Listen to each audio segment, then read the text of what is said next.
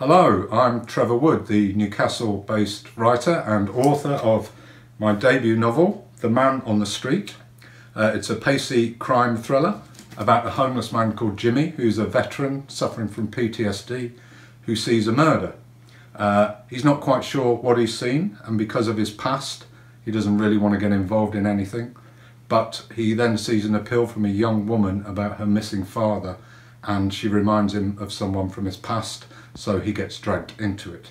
Uh, as part of my research for that I started to um, work at the People's Kitchen which is uh, a fantastic charity in Newcastle uh, purely run by volunteers that feeds about 100 people every day. Um, sadly one of the things that's changed for me in the pandemic is that the People's Kitchen has, to, had to close um, so I no longer spend every Tuesday afternoon cooking up a storm um, for a hundred homeless guys. Uh, some of the other things that have changed. I still work in the same place here. I still have uh, a lovely view of the streets of Newcastle. Uh, sadly they have a view of me normally which means that all the delivery guys see me sitting here and come knocking on the door with parcels. Uh, that has changed obviously now because nobody delivers parcels here.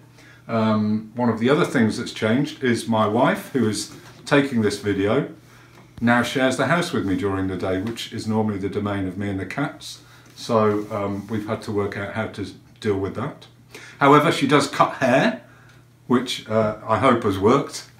Uh, and she also makes beautiful stained glass windows. So if you see there, that stained glass window includes the opening sentence to my book, which is beautiful. Uh, what else? My notice board. The scruffiest notice board in town. Uh, pride of place goes to the email tucked here from my agent Oli Munson about two and a half years ago now I guess where he said I'm reading your book I'm really enjoying it and um, can we have a talk in the morning my daughter Becca is in Vancouver. We were supposed to be visit, visit, visiting her um, on Friday for two weeks. Obviously not going to happen, so we're doing everything on Skype now. Apart from that, I'm surrounded by books. As you can see, there are books here.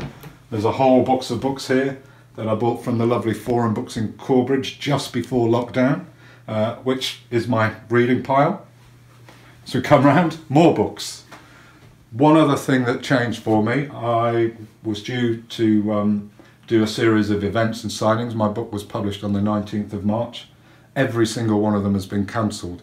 My publishers, Quercus, designed this beautiful stand for me to use at these things. Not sure it's ever going to be used or ever see the inside of a bookshop, and it's got 2020 on it. Uh, so it's no good next year. But who knows, maybe towards the end of the year.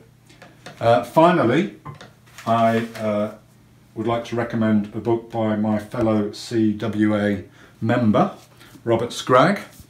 Uh, not only a fellow member of that organisation, but a fellow Northern Crime Syndicate member. Uh, All That Is Buried, it's a terrific police procedural. The Porter and Stiles series, the third in that series, full of terrific characters, a very twisted villain and a terrific plot.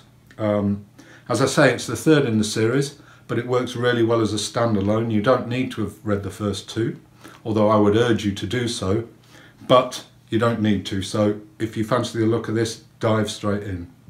Thanks very much. Bye bye.